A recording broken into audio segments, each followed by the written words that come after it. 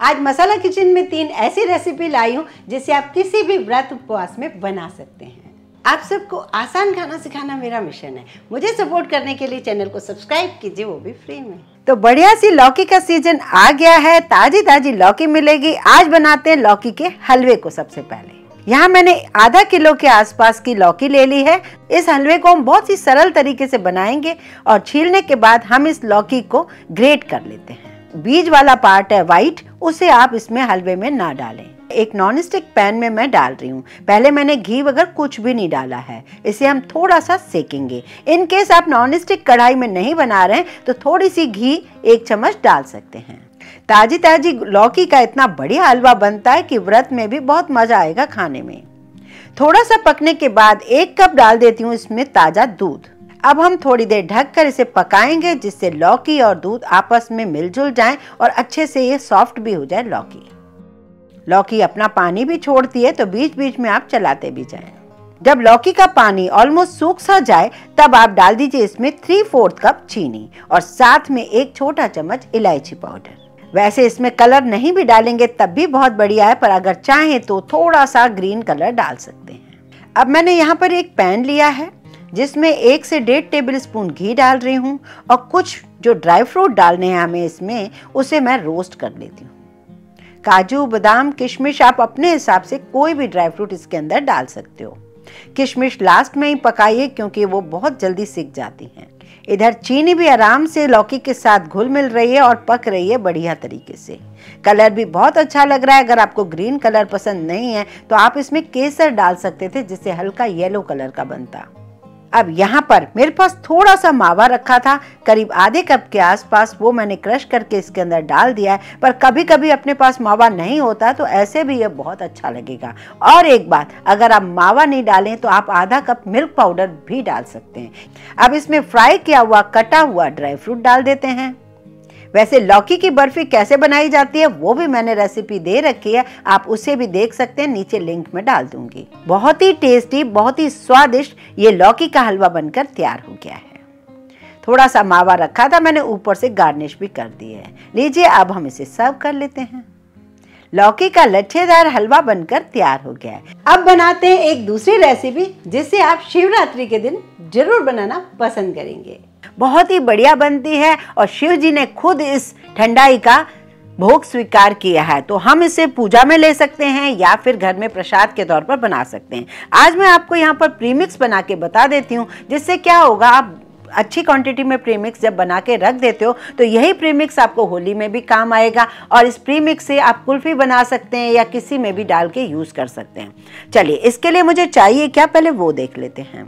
तो यहाँ मैंने लिए दो टेबल स्पून खसखस, दस से बारह लिए बादाम और दो टेबल स्पून लिए खरबूजे के बीज 10 से 12 ले लिए काजू और दो टेबल स्पून लिया है मैंने मोटा वाला सौंफ, दो टेबल स्पून चिरौंजी, जिसे चिरौली भी कहते हैं। छोटी इलायची ली है, दालचीनी ली है और थोड़े से लौंग लिए हैं। ये मसाला इसके अंदर बहुत ही ज़्यादा स्वाद भी बढ़ाता है और टेस्ट भी बहुत अच्छे से आती है। इसमें पच्चीस से तीस दाने काली मिर्च ज़रूर डालें। गार्निशिंग के लिए मैंने थोड़ी पिस्ते की कतरन।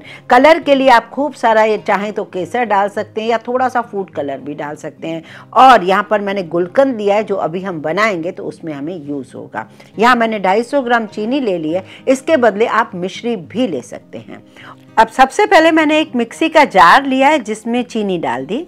इसमें मैंने ये छोटी इलायचियाँ, लौंग, काली मिर्च, सौंफ, इन सबको डालकर एक बार पीस लेती हूँ। इस पाउडर को एक बार हम छान भी लेते हैं। कभी कभी इलायची का रेशा या जो भी होता है, वो पूरा छन जाना चाहिए।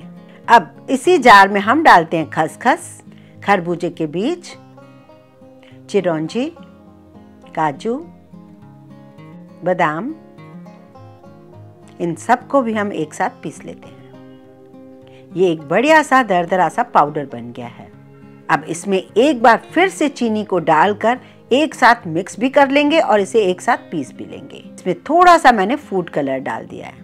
अब सारा मैंने पीस कर एक बार छान लेना है। दो बार ड्राई फ्रूट पीसने से हुआ ये कि बहुत ही बढ़िया वो महीन हो गया और चीनी के साथ पिसा है तो इसमें ऑयल भी नहीं निकलेगा। अब ये प्री मिक्स बनकर तैयार हो गया है। अब इस प्री मिक्स को आप किसी मिठाई में डाल सकते हैं, जो आपका मन करे, जिस हिसाब से आप कर सकते हैं और होली तक भी इसे स्टोर करके रख सकते हैं। ये देखिए, अब कुछ भी दाना नहीं निकला क्योंकि परफेक्ट पूरा पिस चुका है। इसी में मैं थोड़ा सा जायफल को घिस देती हूँ। बस इसी की कमी थी, बाकी सब चीज़ें हम डाल चुके हैं। चलिए, अब देखते हैं इसे हमें एक ग्लास बनाना हो तो हम कैसे बनाएँ इसको। यहाँ मैंने दो टेबल स्पून ये ठंडाई का प्रीमिक्स लिया है थोड़ा सा गुलकंद ले लिया है और मैंने लिया है एक ग्लास दूध। अब इस बोल के अंदर जो मैंने दूध, गुलकंद और ये ठंडाई का प्रीमिक्स डाला है, इन सबको हम मिक्सी के अंदर डाल रहे हैं। आपका मन करे थोड़ी सी बर्फ़ डाल दीजिए और इसे ग्राइंड कर लीजिए। कितना आसान है ना, जब कभी ठंडाई पीने का मन हो, बस इंजॉय कर सकते हैं आप इसे। ये गिलास बिल्कुल तैयार है, ऊपर से केसर की पत्तियाँ और आप गार्निश कर दीजिए पिस्ते की कतरन से। लीजिए, आपका काम बिल्कुल आसान हो गया। इसे कब बना रहे हैं, मुझे कमेंट करना बिल्कुल ना भूलें। ये प्रीमिक्स आप एयर टाइट जार में रख दीजिए। थोड़े दिन रखना है, पंद्रह बीस दिन तो बाहर भी रख सकते हैं, कोई इश्यू नहीं। लंबा टाइम रखना है तो फ्रिज में रख दीजिए। अब चलते एक नेक्स्ट रेसिपी के लिए, जो कि बहुत ही ज़्यादा फ़ेमस है। इसे हम काचा गोला कहते हैं। इसके लिए मैंने डेढ़ लीटर दूध रख दिया है गैस पर, जिसे हम फाड़ने वाले हैं। जब कभी गलती से दूध फट जाए, तब भी आप इसे बना सकते हैं। यहाँ मैंने पानी और थोड़ा सा सिरका मिला दिया है। जैसे दूध उबल जाए, उसे थोड़ी देर ऐसे ही चलाते रहिए, एकदम गर्म में सिरका बिल्कुल न डालें। जब थोड़ी सी उसकी गरमाई निकल जाए, तब आप ये सिरके वाला पानी धीरे धीरे डालते जाइए, जिससे इसका छेना बहुत ही मुलायम और सॉफ्ट बनेगा, जिस तरीके से हम रसगुल्ले के लिए बनाते हैं। और जब ये हरा पानी अलग हो जाए मतलब ये फट जाए, उसके बाद का बचा हुआ पानी बिल्कुल न डालें। यहाँ एक बड़ा सा बोल ले लीजिए, उसमें छन्नी रख दीजिए और एक पतला सा महीन कपड़ा रख दीजिए। अब इसमें पूरा ये छेना डाल दीजिए। ये बचा हुआ पानी आप यूज़ कर सकते हैं सब्ज़ी की ग्रेवी में, आटा गूंदने में या सूप बनाने में। अब इस छेने के ऊपर ठंडा पानी डालने के बाद उसकी खटाई पूरी निकाल दीजिए। आप इस तरीके से इसे स्क्वीज कीजिए एक्स्ट्रा पानी निकल जाए। बहुत ही आसान है इसे बनाना। आप इसे अच्छे से कस के बांधिए, इसका पूरा पानी निकाल दीजिए। जितना आप पानी निकाल सकते हैं, निकाल लीजिए हाथों से स्क्वीज करके। ऐसा इसलिए कर रही हूँ क्योंकि बाद में मैं आपको ये भी बताऊँगी कि अगर इसमें पानी रह जाएगा तो हमें क्या परेशानी आ सकती है। यहाँ मैं इसे एक घंटे के लिए रख देती हूँ, जिससे थोड़ा बहुत भी जो पानी है, वो पूरा सा निकल जाए। अब एक घंटा हो चुका, अब मैं इसे निकाल के आपको दिखा रही हूँ। ये बिल्कुल दबा के नहीं रखा है, जैसे पनीर को दबा के रखते हैं, बस एक गोले की तरह मैंने इसे बाँध के रखा है। कुछ कुछ थोड़ी थोड़ी जो चेंजेस होते हैं, वो खास ज़रूरी होते हैं। अब इसको मैं कर रही हूँ आधा आधा आधा पार्ट मैं ऐसे ही रहने देती हूँ, आधे पार्ट में दो टेबल स्पून पिसी हुई चीनी डाल रही हूँ। एक नॉन स्टिक पैन ले रही हूँ, उसमें मैं कोई घी वगैरह नहीं डाल रही हूँ। फ्लेम बिल्कुल स्लो रहेगी, यहाँ पर इस चीनी के साथ इसे पका रही हूँ। अगर यहाँ पर पानी होता तो होगा क्या कि इसका कलर भी पीला पीला हो जाएगा सुखाते सुखाते और ये काचा गोला टेस्टी नहीं बनेगा। अब इसमें डाल दें one fourth cup condensed milk ये मैं होममेड कंडेंस मिल्क मिल्क में डाल रही हूँ। आप मार्केट का भी ले सकते हैं, घर में भी बना सकते हैं। बहुत ही इजी तरीके से बन जाता है। अब ये दोनों को ही मैं एक साथ पका रही हूँ। एक बात का ध्यान रहे, पानी तो हमने निचोड़ ही दिया था, पर फिर भी इसे कंटिन्यूसली यहाँ पर चला लीजिए, बस यही एक मेहनत है। अगर हम चलाएँगे नहीं तो ये पीला पड़ जाएगा। अगर आप कंडेंस मिल्क और ये चीनी नहीं डालते तो इसके बदले आप आधा कप के आसपास गुड़ डाल सकते थे, आधा पौना कप। लेकिन वो फिर थोड़े लाल रंग के बनते। ये आपकी चॉइस है। अब पानी पूरा सूख चुका है, इसे थोड़ा ठंडा करेंगे। अब ये बाकी का बचा जो आधा पार्ट है, उसे हम फिर से क्रश कर रहे हैं। पाव भाजी मैशर से या रोटी सेकने वाले गुटके से आप इस तरीके से मैश करते जाइए जिससे इसमें दाना ना हो।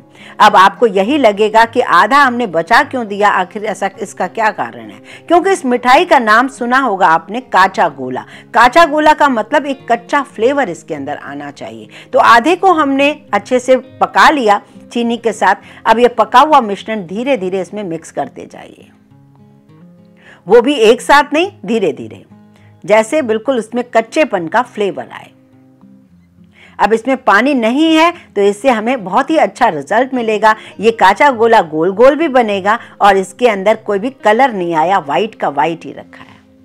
चलिए, सबको हमने अब मिक्स कर दिया है। अब आप हाथों में ले लीजिए एक एक चम्मच भर के इस मिश्रण को। जितना बड़ा आपको बनाना है, बना लीजिए और साइड में रख दीजिए एक से डेढ़ टेबल स्पून मिल्क पाउडर ये मिल्क पाउडर सिर्फ़ क्या करता है? इसको रैप करने में मदद करता है। इस तरीके से गोला बनाइए और इस मिल्क पाउडर में रैप कर दीजिए।